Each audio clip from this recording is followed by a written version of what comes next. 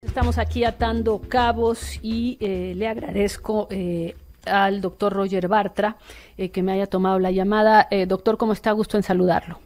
Denise, ¿qué tal? Un placer.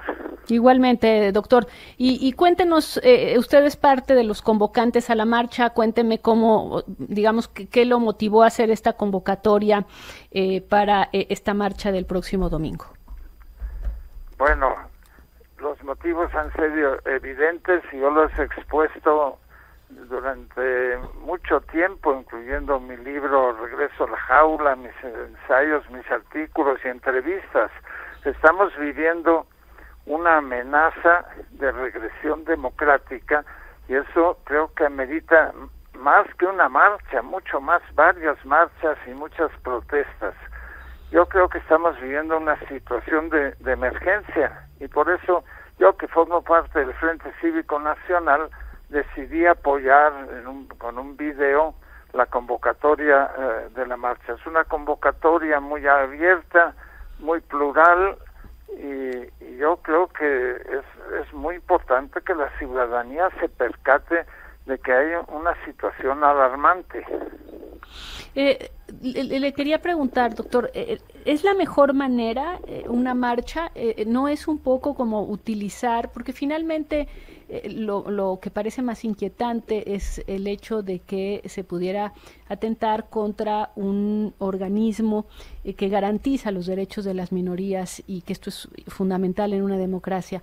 Pero entonces las minorías convocan una marcha, las marchas sabemos que requieren de una tecnología, una tecnología que básicamente además, por cierto, eh, si alguien la tiene, eh, es eh, el, presidente, su partido. El número no va a ser siempre insuficiente de quienes estén en la calle. No sé, mi pregunta sería, ¿ese es el instrumento idóneo para hacer esta defensa? Yo creo que hay varios instrumentos idóneos para protestar y las marchas,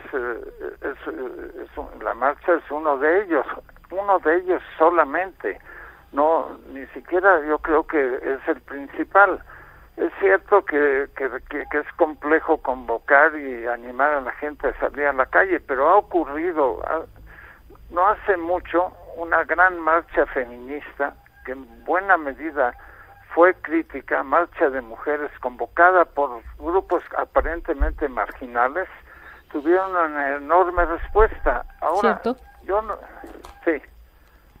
No sí dígame bueno, no, sabemos cuál va a ser la respuesta ahora.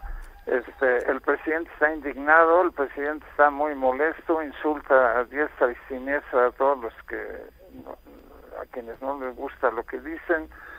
Está tratando de que de enfrentar el bloque monolítico del gobierno a una a un abanico muy variado, multicolor de la oposición, en donde hay todas las posiciones de izquierda y de derecha en todos sus matices.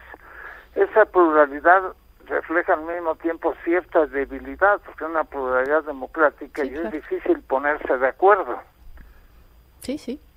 Sí, ponerse de acuerdo eh, y, además puede haber también pluralidad de, objetivos, de agendas y demás.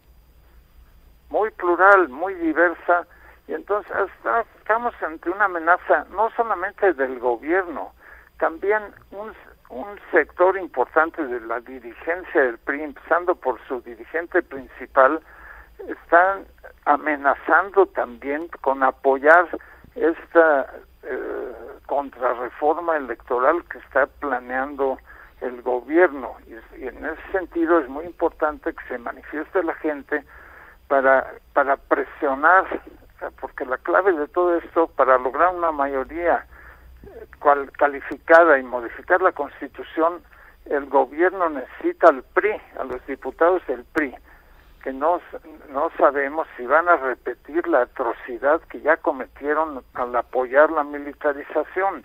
Entonces también es contra ellos, contra esta posición corrupta, putrefacta, priista, que está recogiendo el partido oficial, que es un segundo PRI, evidentemente, eso yo lo he dicho repetidamente, todas las mañas, toda la putrefacción, toda la corrupción tradicional de la cultura priista se continúa en Morena y en el gobierno actual. Entonces estamos una, una situación verdaderamente desastrosa, muy peligrosa.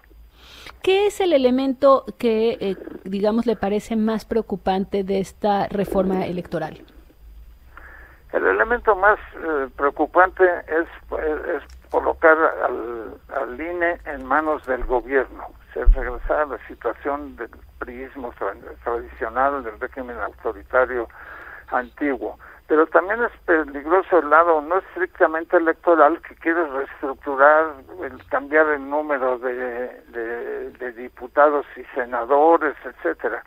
Él está intentando un cambio general este, para ver qué logra pescar, porque es posible que, que, quiere atraer a los dirigentes del PRI a que lo apoyen, tal vez en algunas de las partes, y, entonces ahí es donde entramos en el terreno peligroso, porque estamos en un momento que aunque el INE seguramente, como todas las instituciones, requeriría cierta renovación, intentarla en este momento es una amenaza catastrófica para la democracia y eso es algo que, que, hay que... Digamos, el tema sería esencialmente que en, detrás de esta reforma ustedes ven una intención, eh, un objetivo claro de apropiarse de, el, digamos, no, de desaparecerlo, porque eso efectivamente es fácil, es de, apropiarse, es de apropiarse de eh, las instituciones electorales y quitarles ese elemento, digamos, de autonomía